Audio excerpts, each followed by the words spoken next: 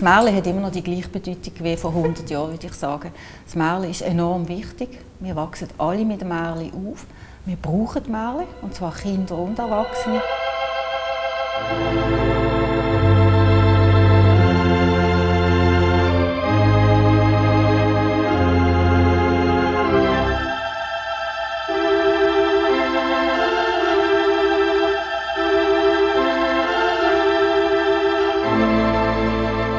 Ausstellung selber behandelt einfach verschiedene Facetten von einem Märchen. Von da im Orient, wo man natürlich von «Tausend und einer Nacht redet, geht über zu den grossen europäischen Märchenerzählern. Man kommt in Rudi Gerster rum, da geht es um eine schweizerische Märchenerzähltradition.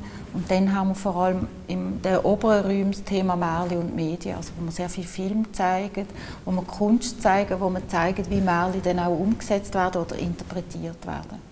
Künstler haben sich schon immer vom Märchen inspirieren Das Märchen ist natürlich auch eine Fundgrube an Fantasie, an Kreativität, an Imagination.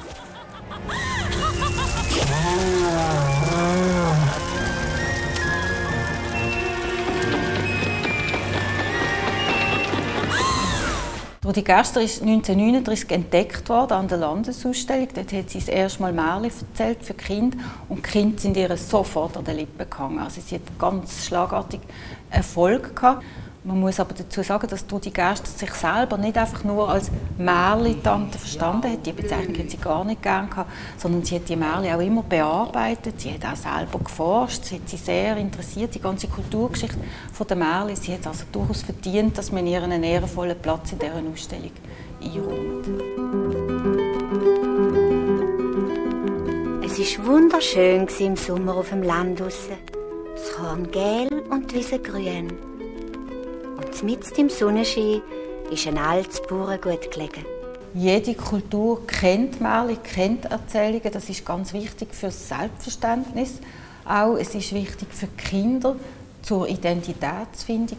Märchen vermitteln auch Wert. Hollywood macht nichts anderes als Märchen produzieren. Wie zum Beispiel Pretty Woman, das ist nichts anderes als ein Märchen. Im Unterschied dazu, dass der Milliardär als der Erlöser nicht mehr auf dem Schimmel daherreitet, sondern in einer weißen Stretchlimousine kommt.